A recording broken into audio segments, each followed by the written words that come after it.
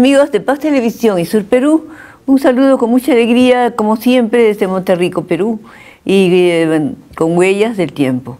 El invitado de hoy es José Antonio Benito Rodríguez, eh, un amigo nuestro, pero más que todo, bueno, él es venido de Salamanca y eh, hace, algún tiempo se ha instalado aquí en el Perú. Bueno, está con nosotros muchos años, ha publicado muchos libros. Acaba de recibir últimamente la distinción eh, del premio Landazuri y bueno, es director de una serie de instituciones culturales que se dedican a eh, presentar los valores del Perú. Eh, yo le doy la bienvenida, muchas gracias José Antonio por estar con nosotros en, en esta ocasión. Muchísimas gracias Alfonsina, para mí es un placer y un honor inmerecido, pero aquí estamos. No, no, no seas tan modesta, porque para, te diré que para mí es una satisfacción tenerte aquí, además por algo que tú no sabes. Cuando yo estaba en colegio, eh, y estaba creo en cuarto, quinto de media, y estábamos estudiando en literatura el siglo de oro español. Bueno, y seguramente que yo era una de las más eh, eh, digamos, estudiantes estudiosos, porque llegó el alcalde de Salamanca al Cusco y entonces me dieron como premio ir a entrevistarlo. Y para mí fue simpaticísimo conversar con él. Tuve que eh, buscar en la biblioteca de Cusco todo lo referente a Salamanca. Y bueno, el alcalde me dijo, alguna vez vendrás, me dijo, yo era una colegiala, fui con mi uniforme, vendrás a Salamanca. Bueno, no creo que pueda ir a Salamanca. ¿Cómo que no? Porque no es tan fácil. Pero ¿cómo que no? Pero en cambio tú has venido de Salamanca aquí y así pues de que me parece que estás invitada ahí, estoy haciendo otra entrevista. Está en mi casa y ahí toda mi familia, ya estás invitada, pero ¿cómo? Pero qué lindo, ¿no? Realizar un sueño después de mucho tiempo sería muy simpático. Y tenemos aquí pues a, a José Antonio. Y yo preguntándome al principio por qué se vino de Salamanca al Perú. Y algo he revisado en su historia, pero mejor que nos cuente cómo se vino y por qué. Yo la verdad es que desde niño em, como que soñaba en que alguien me estaba esperando aquí en el, en el Perú, o sea, como que hermanos al otro lado del Atlántico me estaban esperando, ¿no?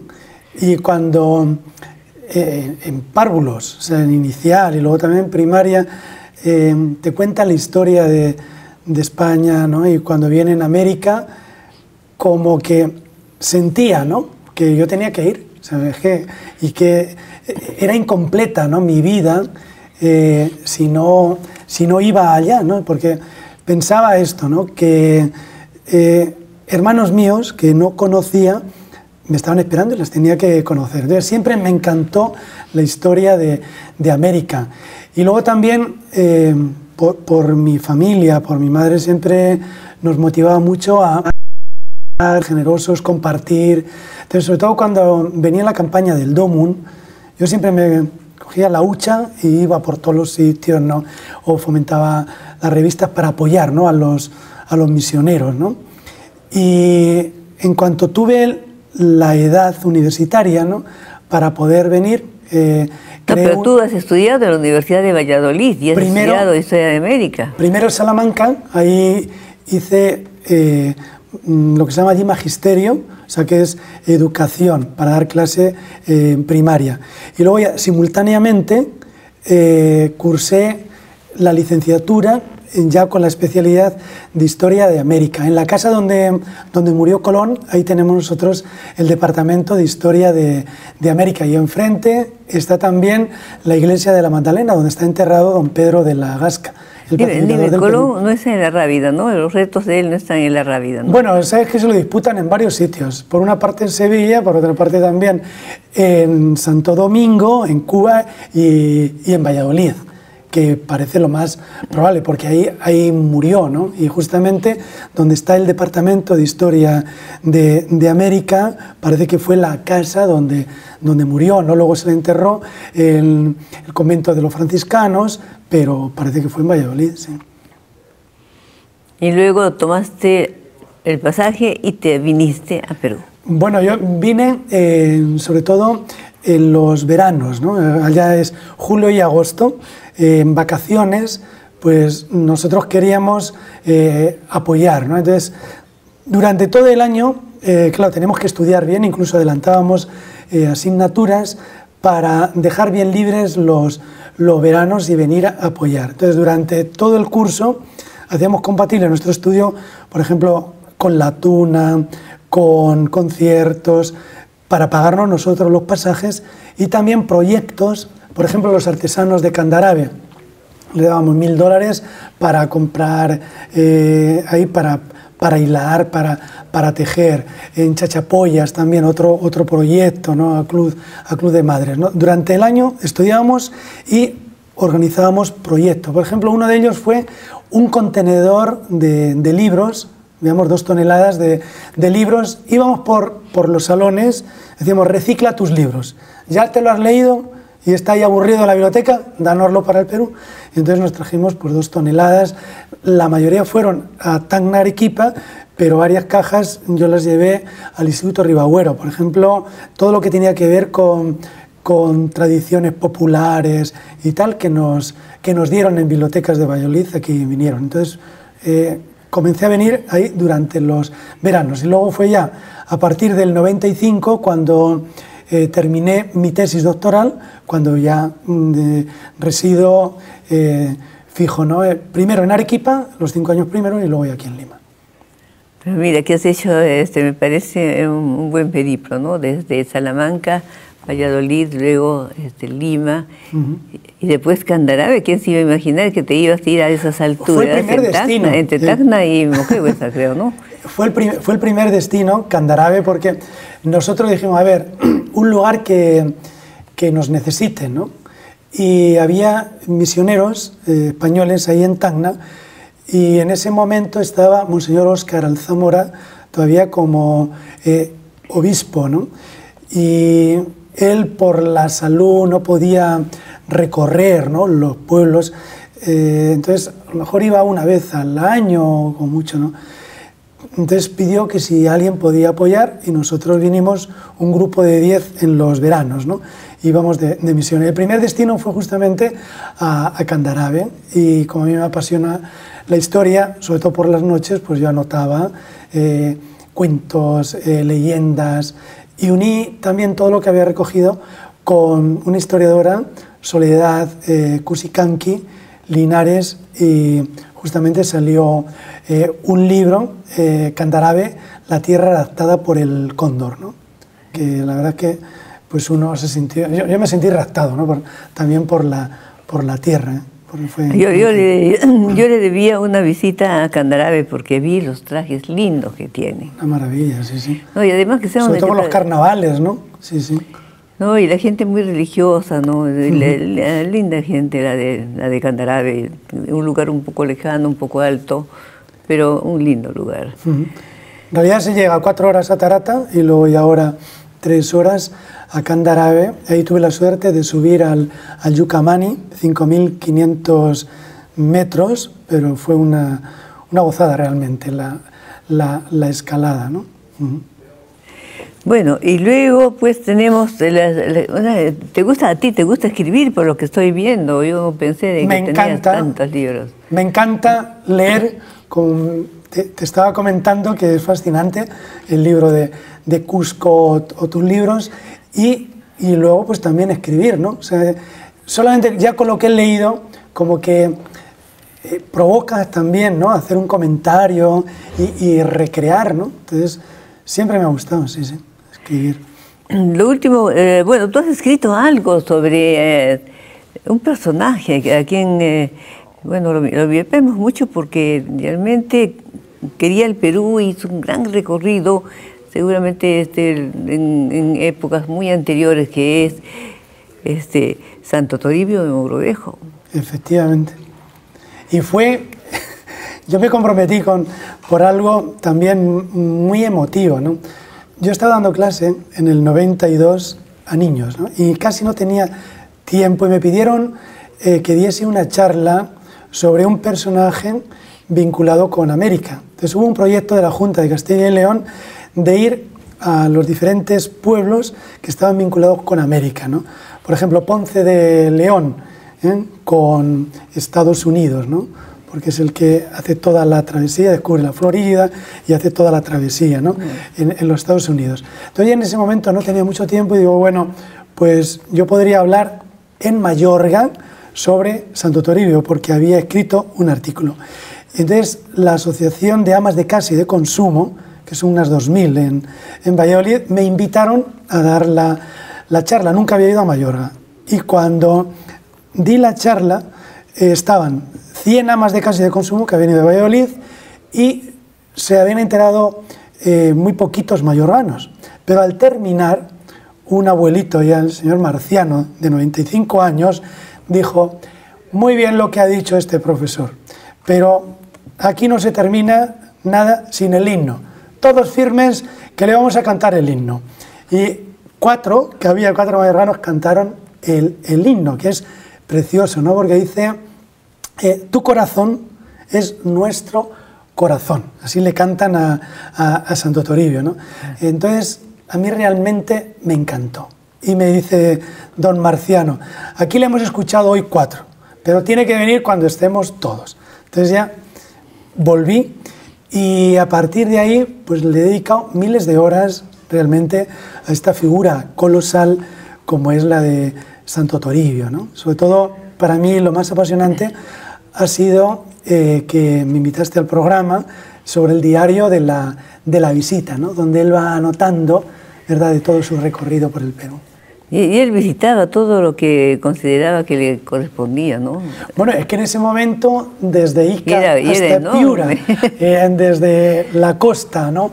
hasta, hasta la selva, era, solamente había dos diócesis, ¿no? la de Cusco, a partir de Ica, y la de Lima, de Ica para, para arriba. ¿no? Entonces, él parece que se recorrió unos 40.000 kilómetros. De hecho, en la carta que le escribe al Papa, porque él no salió ya nunca de, del Perú y tenía como obligación eh, la visita ad limina, pero él no la pudo hacer, la hacía por, por carta. Él habla ya en el 98, llega en 1581 y en el 98 ya había recorrido eh, más de 5.000 leguas. Entonces, al final de su vida Imagínate. se ha recorrido 40.000. Creo que solamente Alfonsina le ha superado. Por ahí, de, de recorrer que, el Perú, ¿no? Y parecía de que él caminaba mucho, porque las, las, zapatillas que se exhiben en su capilla de la Basílica Catedral de Lima este, están bien gastadas. Lo que pasa es que esas son, eh, las que se exhiben ahora por lo menos, son litúrgicas, eh, son las cáligas, ¿no? Entonces, supongo que las que llevaba para caminar serían, no, yo no las he visto todavía, estarán por ahí perdidas. ¿no? Bueno, y él, ella llegó, este, murió en Saña, pues. Y en plena, en plena visita, ¿no? Un 23 de marzo, jueves santo, para un sacerdote, ¿qué más? Que cuando está celebrando, ¿verdad? La, la última cena. Y además, como él era eh, tan animoso, tan dinámico, se murió cantando, ¿no? Le estaban eh, tocando ahí. Qué alegría cuando me dijeron, y él estaba cantando el salmo, qué alegría cuando me dijeron, vamos a la casa del Señor. Entonces yo digo, hay personas que se mueren de aburrimiento, eh, ya de mayores, él se murió de gozo, de alegría, porque él siempre que tenía que, que visitar, dice, y todas las visitas han sido por dar contentamiento. ¿eh? a mis, a mis hijos, a mis fieles. ¿no? Y dime una cosa, y tú has escrito libros sobre eso, ¿no? De Santo Toribio he escrito varios, ¿no? Por una parte, este que es el más sencillo, que me lo pidió la conferencia episcopal, que yo le he titulado Pasión por el Perú, Toribio eh, de Mogrovejo, Pasión por el Perú. Otro más eh, grande, que me lo premió eh, el Ministerio de Cultura de, de España, en realidad fue una convocatoria que me la aprobaron, que se tituló Crisol de Lazos Solidarios, que tiene unos, unas 400 páginas y que está en internet.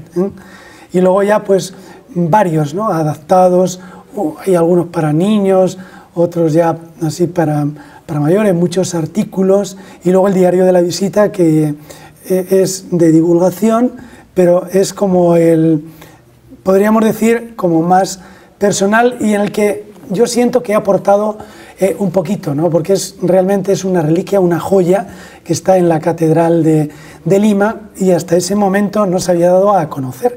Incluso hubo que darla a conocer rápido, ha salido con algunos errores y yo estoy eh, animando a que se haga una edición crítica, para que haya lingüistas, para que haya geógrafos, para que haya antropólogos que realmente le hagan una edición crítica. me parece excelente la, idea y bueno, de, Santo Toribio, a quien queremos muchísimo, nos pasamos este, al Señor de los Milagros. También has escrito sobre el Señor de los Milagros y aquí tienes una publicación sobre la Virgen de la Peruanos, Bueno, este, está, es la Virgen de la Nube. Sí, aquí tienes, aquí tienes la Virgen de la Nube. Y sabes que me entusiasma bastante esa Virgen, es la que está detrás de, la pintura del Cristo que sale en procesión, que es su paso, ¿no? Claro, claro. Y todos se preguntarán a veces, ¿cuál es la historia de la Virgen de la Nube? Yo quisiera que tú la digas, porque yo la conozco, pero Sí, eh, para, para, todos. Sí, yo he escrito cuatro trabajos sobre el Señor de los Milagros, la historia en sí, que lo publicó la Universidad Católica Sede Sapiense, eh, la identidad, el rostro de un pueblo, el Señor de los Milagros, identidad del Perú, el rostro de un pueblo.